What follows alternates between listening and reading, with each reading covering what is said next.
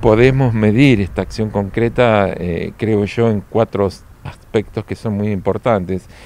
El primero es que creo que nuestro mandatario ha, visto la necesidad de puntualmente de revertir esta situación en pos de que entiendo que el organismo es un bien cultural que debe circular, les pertenece a todos los pampeanos y debemos llegar a todos los pampeanos.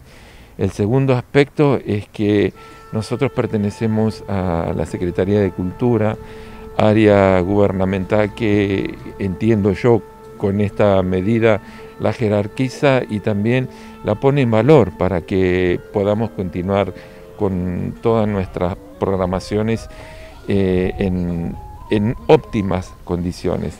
La tercera, los directos involucrados, que supone un,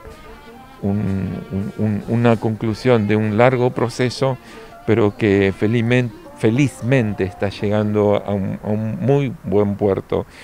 Y el cuarto para mí, eh, yo siento que esto es, eh, es, una gran responsabilidad que debo eh, mantener porque debo seguir velando por todos los aspectos que son artísticos y, e institucionales, ¿no?